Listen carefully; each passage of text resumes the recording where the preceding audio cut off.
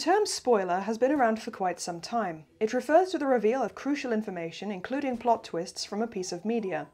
I have a feeling we know all this, but I'm going over it anyway. If you're excited to see a movie and naturally uncover plot elements for yourself, it can be very disappointing to find them out beforehand, especially if your co-worker Neville just happens to blurt them out of the water cooler. Fucking Neville. The thing is, people want to discuss the latest movie, TV episode, or less commonly, book, with friends who are also in the know. So the polite thing to do, especially online, is to post a spoiler alert to warn off casual interlopers. I used to be very much a part of the fandom for a popular series of books. For the most part, this community was very respectful about spoilers, especially considering the staggered release dates for Australia, the US, and UK. The Facebook pages, forum threads, and DeviantArt posts were often adorned with spoiler warnings, continuing for many months, if not years, after the release of a book. Oftentimes, the spoilers themselves were concealed and required the pressing of a button to view them, just to make extra super sure nobody got an accidental peek. Even I was careful, choosing not to include certain plot elements for extended periods of time. I was something of a big name fan, not that it got me any more attention for my original works, but there you go, fans are fickle. So this is all to be expected from a bookish fan community as relatively small as this. It was all very considerate. However, there is an unspoken rule that for media that's been out for a very long time, any discussion of details of the plot are fair game. For example, the movie Psycho from 1960 is a considered classic, at the time the film was being promoted, a no late admissions to the theatre policy was implemented by Hitchcock, because the starring actress Janet Leigh is killed in the first 30 minutes, and people would probably want to see her. Hitchcock did his very best to prevent the details of the plot getting out. No interviews with the actors, no advanced screenings for critics, and a host of other measures.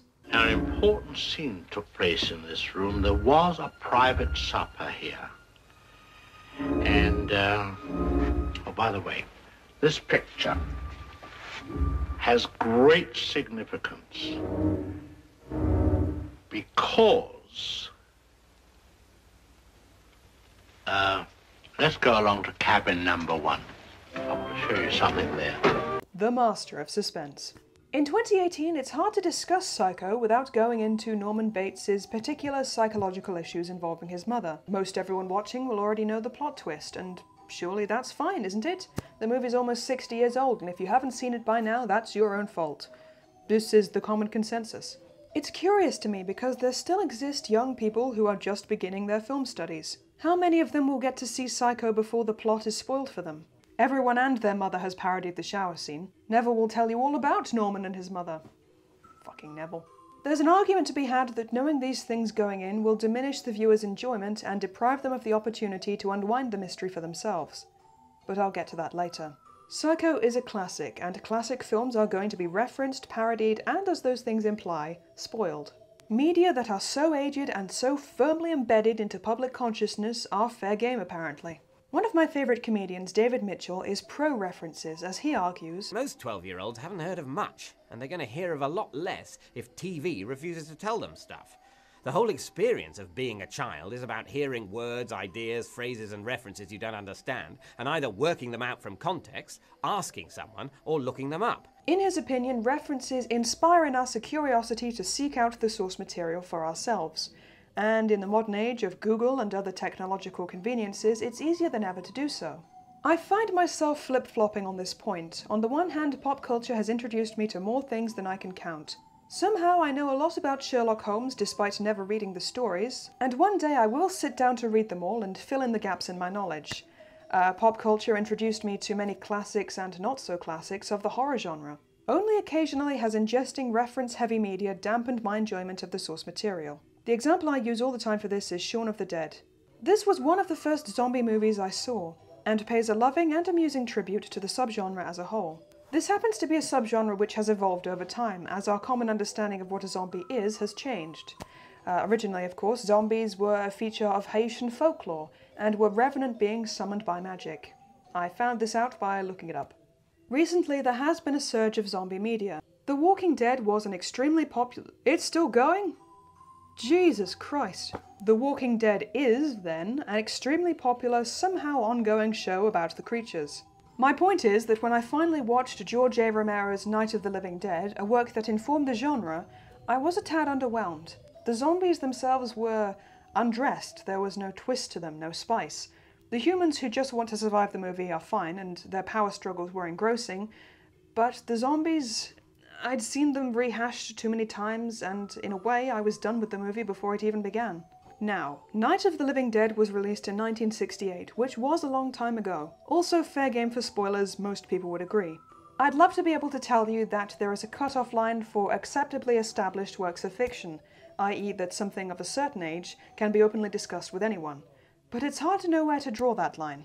I can't believe it. Bruce Willis is a ghost. I'm just, I'm shocked. Did you see that coming? After a while, I started walking normally. I felt like Keyser Söze from the end of The Usual Suspect. In other news, the chick in the crying game is really a man. I mean, man, is that a good movie? To further complicate things, it's not only a matter of age but of popularity. This applies more to TV shows than movies, but I've already heard numerous spoilers for Breaking Bad, The Walking Dead, Black Mirror, and Game of Thrones, and have only just embarked on one of them. People like Neville assume that if you haven't seen something already, then that's on you, and what are you even doing with your life if you're not watching Game of Thrones? And even if you avoid known spoiler fountains like Neville, you are likely to find them in other places. The spoilers, not Neville. I'll try to keep this to within horror, but it occurs everywhere. Horror is known for its iconic villains. They look cool, they say deliciously devilish things, and they make great Halloween costumes. Occasionally, the appearance of a horror movie antagonist is a spoiler in itself, especially in the case of slasher killers. The most obvious example here is Carrie. Distributors can't help themselves. On almost every poster and DVD cover, she is there in her prom dress, covered in blood, and surrounded by fire. Similarly, the cover of Audition tells us something about the character Asami, although the movie starts out as a light romantic drama.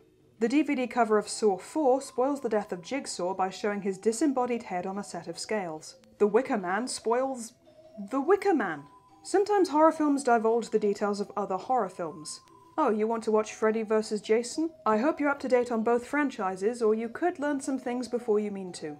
Oh, the movie Scream was your first foray into horror? Well, congratulations, you just learned who the killer was in Friday the 13th. This is an interesting one, actually. Because Jason Voorhees is the poster boy for this franchise, you could be forgiven for thinking he's the killer in the first movie. It's almost a reverse spoiler for new arrivals, but I suppose Scream ruined even that small surprise. Perhaps such things are meant to reward horror stalwarts who grew up with horror. Most horror fans I talk to experienced it from a young age, but from the perspective of someone like me, it can be frustrating to learn of certain things before you have a chance to catch up for yourself. Receiving a spoiler is most appalling when you had been looking forward to deducing the various twists and turns of your newest book, film, or TV show. We want to know if our highest hopes or greatest fears are confirmed. We want to know if Laurie Strode is going to survive the second Halloween movie. We want to know if the children win out in Village of the Damned. This suspense is part of the joy of watching or reading something new. Sometimes. Have you ever turned to the last few pages of a book to see how it ends, and then started back at the beginning? Have you ever been so astounded by the events of a movie that you had to immediately rewatch it, and picked up all the foreshadowing and noticed how shiny the clues now appear? Sometimes the joy of a new story can come from knowing the conclusion and letting the story unfold to get us there.